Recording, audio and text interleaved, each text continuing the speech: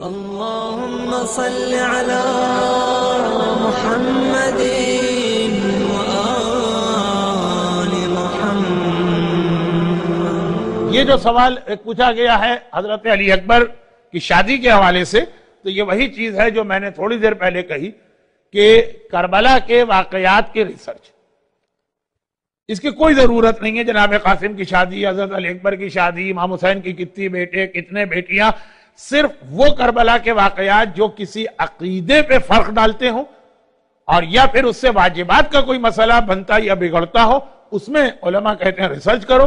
बाकी करबला के जो तारीखी वाकयात हैं, कि इससे भी फ़र्क नहीं पड़ता, उसके ऊपर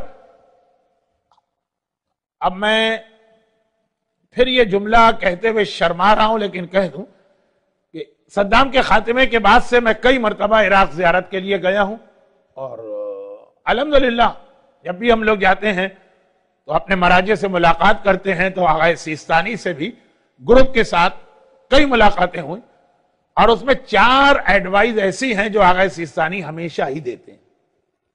यानी चार से मतलब किसी को खाली एक टाइम के ऊपर डिपेंड है, किसी ग्रुप को सिर्फ़ दो मिनट मिलते हैं।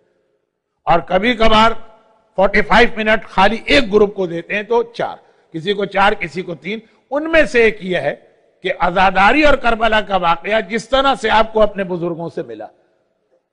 उसमें अगर कोई हराम बात है, उसको निकाल के उसी तरह से इसके ऊपर अमल करें और इसको अपनी नई जनरेशन को मुंतकिल करें। इसके अंदर किसी तब्दीली या रिफॉर्म करने की ज़रूरत नहीं।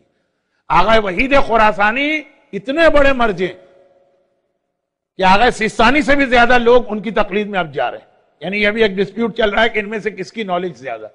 यूट्यूब पर जाइए, वही जो खुरासानी खुरासानी आप टाइप करें, उनको, उनके जो आपको लेक्चर मिलेंगे तो वो, ये सारे जो आजकल रिसर्च हो गई है, इस तरह से कि जैसे बाकी सारे मसले हल हो गए, खाली ये बाकी रह गए।